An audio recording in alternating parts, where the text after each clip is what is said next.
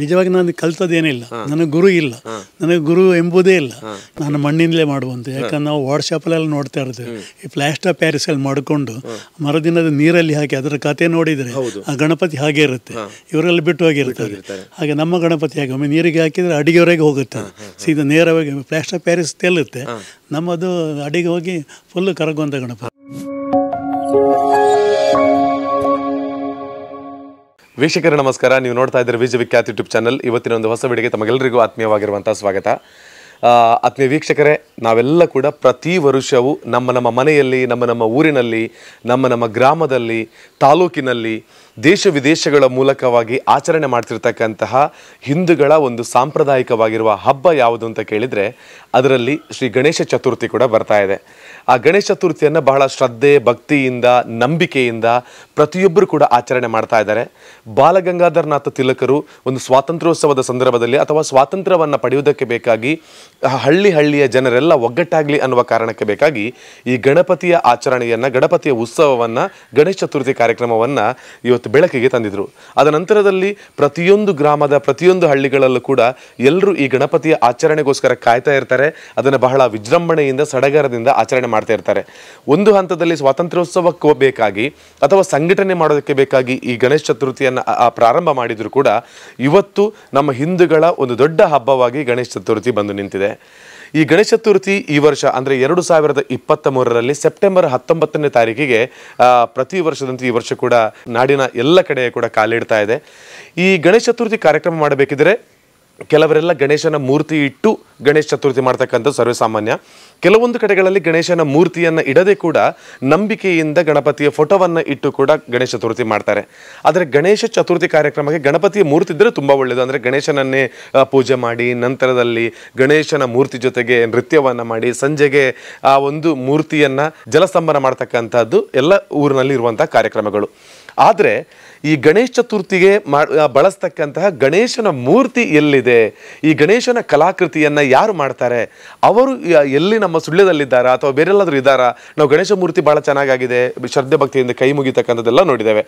ಆದರೆ ಗಣೇಶ ಮೂರ್ತಿಯನ್ನ, ಕಲಾಕೃತಿಯನ್ನ ಮಾಡ್ತಕ್ಕಂತಹ ವ್ಯಕ್ತಿಯ ಪರಿಚಯಗಳು ಪರಿಚಯಗಳು ಇರುವಂಥದ್ದು ಸಾಕಷ್ಟು ಮಂದಿಗೆ ತೀರಾ ಕಡಿಮೆ. ಇವತ್ತು ನಮ್ಮ ಎಪಿಸೋಡ್ನಲ್ಲಿ ನಾವು ಶ್ರದ್ಧೆ, ಭಕ್ತಿಯಿಂದ ನಮ್ಮ ಬಹಳ ಆರಾಧ್ಯ ದೇವವಾಗಿರ್ತಕ್ಕಂತಹ ಗಣಪತಿಯ ಕಲಾಕೃತಿಯನ್ನು ಮಾಡುವಂತಹ ಒಬ್ಬ ವ್ಯಕ್ತಿಯ ಮನೆಗೆ ನಾವು ಇವತ್ತು ಬಂದಿದ್ದೇವೆ. ಅವರು ಪ್ರತಿ ವರ್ಷವೂ ಸಾಕಷ್ಟು ಗಣಪತಿಗಳನ್ನು ಮಾಡಿ ಬೇರೆ ಬೇರೆ ಕಡೆಯ ಗಣೇಶ ಕಾರ್ಯಕ್ರಮಗಳನ್ನು ಮಾಡ್ತಕ್ಕಂತಹ ಒಂದು ಜಾಗಗಳಿಗೆ ಈ ಗಣಪತಿಯನ್ನು ಕೊಡ್ತಾರೆ. ಅಲ್ಲಿ ನಂತರ ಪೂಜೆ ಪುರಸ್ಕಾರಗಳಾಗಿ ಆ ಒಂದು ಊರಿನ ಒಂದು ಎಲ್ಲ ಸಮಸ್ಯೆಗಳನ್ನು ದೂರ ಮಾಡ್ತಕ್ಕಂತಹ ವಿಘ್ನ ವಿನಾಶಕನಾಗಿ ಇವರೇ ಕಳಿಸಿಕೊಟ್ಟಿರ್ತಕ್ಕಂಥ ಗಣಪತಿ ಪ್ರಮುಖವಾದ ಪಾತ್ರವನ್ನು ವಹಿಸಿಕೊಳ್ತದೆ ಅದಕ್ಕೆ ಬೇಕಾಗಿ ಸುಳ್ಯದ ಹಳೆಗೇಟಿನಲ್ಲಿ ಕಳೆದ ಮೂವತ್ತೈದು ವರ್ಷಗಳಿಂತಲೂ ಅಧಿಕವಾಗಿ ಗಣಪನ ಮೂರ್ತಿಯನ್ನು ಮಾಡಿ ಗಣೇಶ ಚತುರ್ಥಿ ಕಾರ್ಯಕ್ರಮಗಳಿಗೆ ಕೊಡ್ತಕ್ಕಂತಹ ವ್ಯಕ್ತಿ ಶ್ರೀಯುತ ಶ್ರೀನಿವಾಸ್ ಮಾಸ್ತರ್ ಅಂತ ಇದ್ದಾರೆ. ಅವರು ಕಲಾಕೃತಿಗಳ ಮೂಲಕವೇ ಇವತ್ತು ಹೆಸರನ್ನು ಮಾಡಿಕೊಂಡಿದ್ದಾರೆ. ಜೊತೆಗೆ ನಿವೃತ್ತ ಅಧ್ಯಾಪಕರು ಕೂಡ ಹೌದು. ಅವ್ರ ಜೊತೆ ಇವತ್ತು ಮಾತಾಡಿಕೊಂಡು ಅವರ ಮೂವತ್ತೈದು ವರ್ಷಗಳ ಈ ಗಣಪತಿ ಕಲಾಕೃತಿಯ ಬಗ್ಗೆ ಒಂದಷ್ಟು ಅನುಭವಗಳನ್ನು ನಾವು ಕೇಳಿಕೊಂಡು ನಿಮಗೆ ತಿಳಿಸಿ ಗಣಪತಿ ಕಲಾಕೃತಿಯನ್ನು ಹೇಗೆ ಮಾಡ್ತಾರೆ, ಯಾವ ಮಣ್ಣನ್ನು ಬಳಸ್ತಾರೆ ಇದೆಲ್ಲದನ್ನು ಕೂಡ ಅವ್ರ ಜೊತೆನೇ ಭಾಳ ಚೆನ್ನಾಗಿ ಮಾತಾಡ್ಕೊಂಡು ಬರೋಣ. ಬನ್ನಿ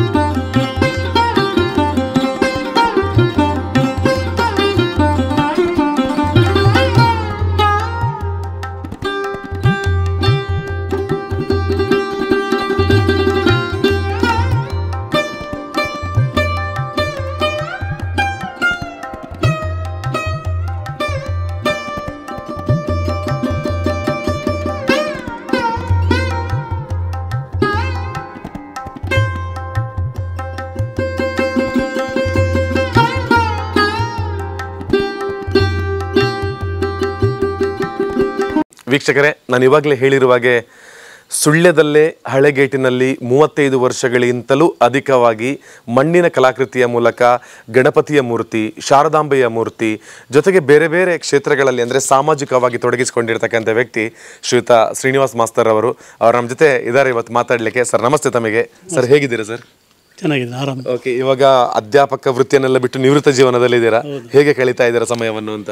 ಸಮಯದ ನಾನು ಒಂದು ವರ್ಷ ಆಯಿತು ನಿವೃತ್ತನಾಗಿ. ನನಗೆ ಜೂನಿಂದ ಈ ಕೆಲಸ ಪ್ರಾರಂಭ ಆಗುತ್ತೆ. ಯಾಕಂದ್ರೆ ಸುಮಾರು ಹತ್ತು ಹದಿನೈದು ಮೂರ್ತಿಗಳಿವೆ. ಮೂರ್ತಿ ಮಾಡಬೇಕಾದ್ರೆ ಸದ ಕನಿಷ್ಠ ಒಂದು ಎರಡು ತಿಂಗಳಾದರೂ ಬೇಕಾಗುತ್ತೆ. ಆಮೇಲೆ ಶಾರದೋತ್ಸವ ಅದು ಬರುತ್ತೆ.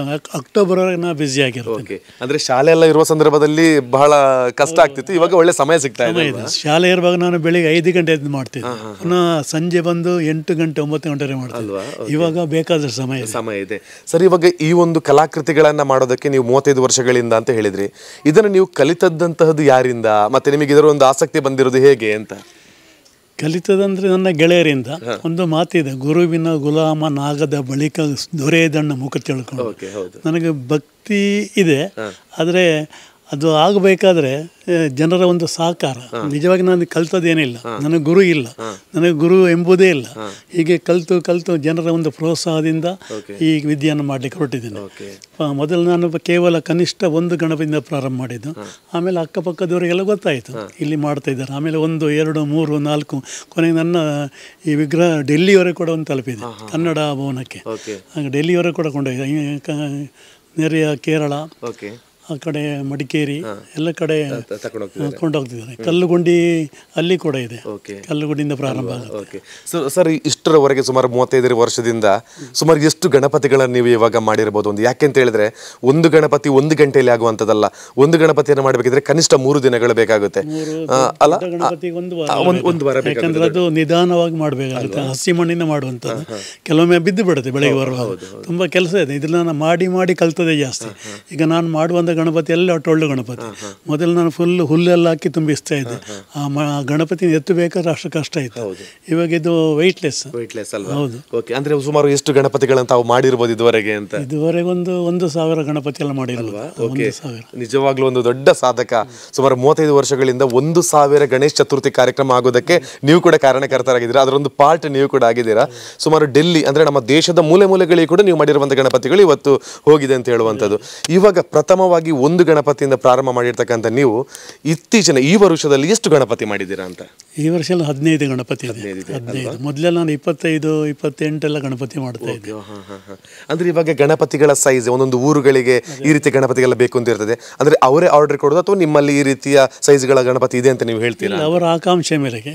ಕೆಲವೆಲ್ಲ ಸ್ಟಾರ್ಟಿಂಗ್ ಮಾಡು ಇನ್ನು ಎರಡು ಗಣಪತಿ ಹೊಸ ಗಣಪತಿ ಬಂದಿದೆ. ಅವರು ಸ್ಟಾರ್ಟಿಂಗಿಂದ ಮಾಡ್ತಾರೆ. ನಮಗೆ ಒಂದು ಫೀಟ್ ಬೇಕು ಈಗ ನಾಳೆ ಒಂದು ಬರುತ್ತೆ. ಒಂದು ಒಂದು ಫೀಟ್ನ ಎರಡು ಫೀಟ್ ಓಕೆ ಸ್ಟಾರ್ಟ್ ಮಾಡುವರು ಹಾಗೆ ಬೆಳೀತಾ ಬೆಳೀತಾ ದೊಡ್ಡದು ಜಟ್ಟಿಬಳ ಇದೆ.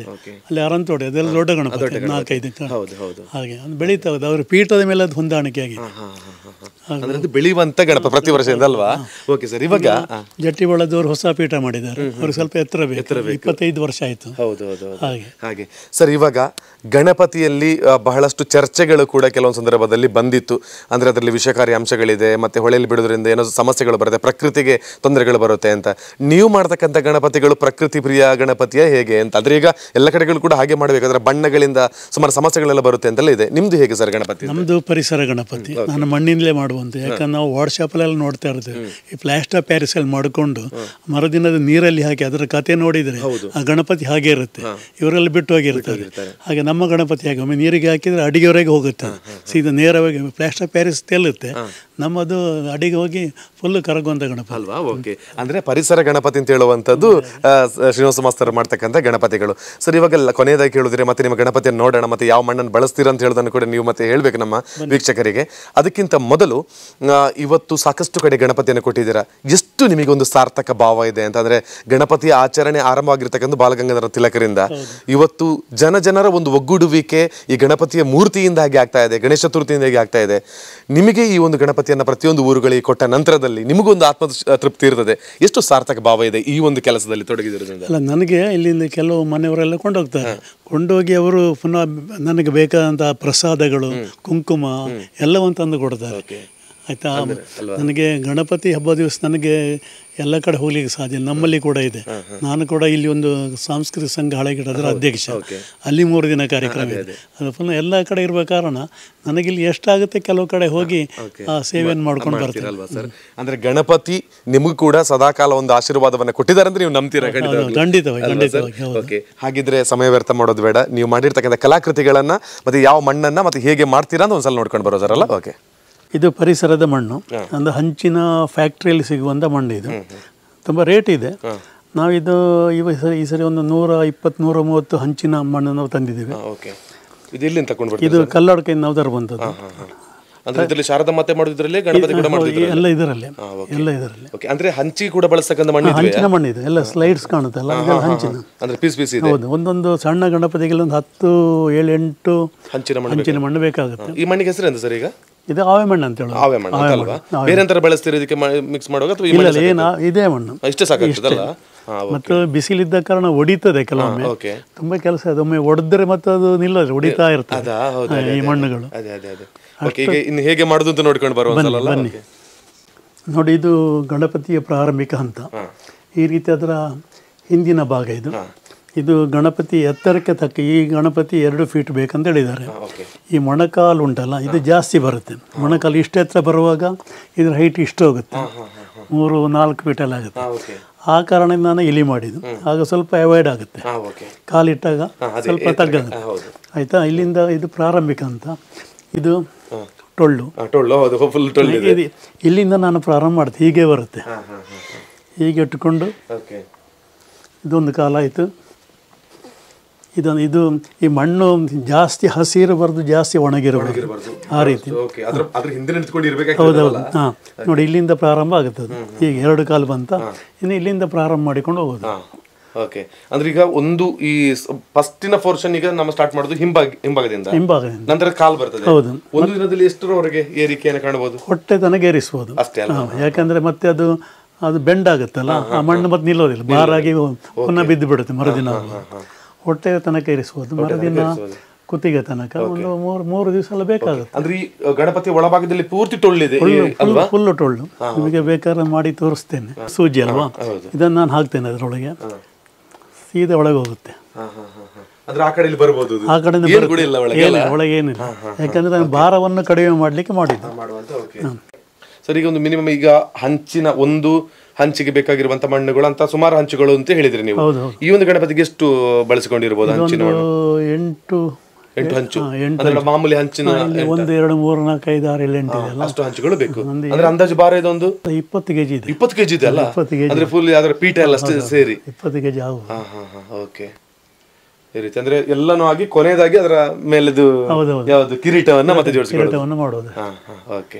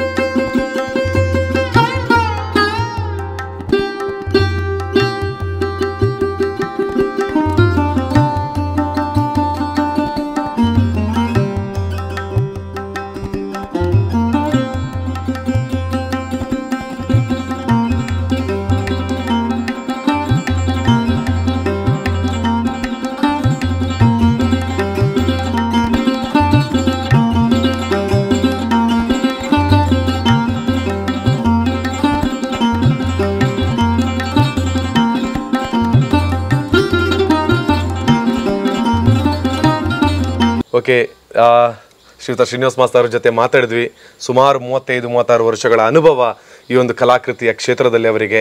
ಬೇರೆ ಬೇರೆ ಕ್ಷೇತ್ರದಲ್ಲಿ ತಮ್ಮನ್ನು ತಾವು ತೊಡಗಿಸಿಕೊಂಡಿರ್ತಕ್ಕಂಥ ವ್ಯಕ್ತಿ. ಇದು ಸುಲಭವಲ್ಲ. ನಾವು ನೋಡಿದಷ್ಟು, ಇವತ್ತು ಮಾತಾಡಿದಷ್ಟು ಸುಲಭವಲ್ಲ. ತುಂಬ ಪರಿಶ್ರಮ, ತಾಳ್ಮೆ ಮತ್ತೊಂದು ತಪಸ್ಸೆ ಬೇಕಲ್ಲ ಸರ್ ಇದಕ್ಕೆ? ಹೌದು ತಾಳ್ಮೆ ಬಹಳ ಮುಖ್ಯ. ಬಹಳ ಮುಖ್ಯ. ಯಾಕಂದ್ರೆ ನಾನು ಮೊದಲು ಎಷ್ಟೋ ಮಾಡಿದ್ದೇನೆ. ಎಷ್ಟೋ ಗಣಪತಿ ಬಿದ್ದೋಗಿ ಹೌದು.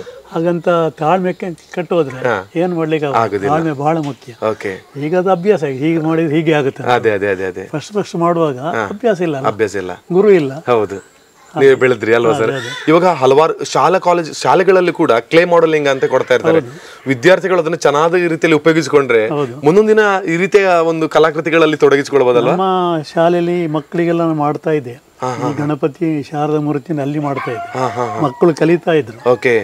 ಆಯ್ತು ಮಕ್ಕಳು ಪ್ರಥಮ ಬಹುಮಾನ ಎಲ್ಲ ಬರ್ತಾ ಇತ್ತು. ನಮಗೆ ಸಂಪಾಜಲ್ಲಿ ಇದ್ದದ್ದು ಜಿಲ್ಲಾ ಮಟ್ಟದವರೆಗೆ ಹೋಗಿದೆ ಪ್ರತಿಭಾಗಾರ ಓಕೆ ಹಾಗೆ ಅಂದ್ರೆ ಅಲ್ಲಿ ಕೂಡ ಮಕ್ಕಳಿಗೆ ಕಳಿಸಿದ್ದೀರಲ್ವಾ ಮಕ್ಕಳಿಗೆ ಒಂದು ಉತ್ಸಾಹ. ಹೌದು. ಇದೊಂದು ಕಲಿಬೇಕಂತ. ನಿಜ ನಿಜ ನಿಜ. ಆಮೇಲೆ ಎಷ್ಟೋ ಮಕ್ಕಳು ಬರ್ತಾ ಇದ್ರಿ. ಓಕೆ ಶನಿವಾರ ಆದಿತ್ಯವರಾಗಿ ನನ್ನ ಹತ್ರ ಇಲ್ಲಿ ಬರ್ತಾ ಇದ್ರು. ಓಕೆ ನಮ್ಮ ಶಾಲೆ ಓಕೆ ಮಕ್ಕಳಿಗೆ ನಾನು ಕಲಿಸಿಕೊಟ್ಟಿದ್ದೇನೆ. ಕೊಟ್ಟಿದ್ದೀರಿ.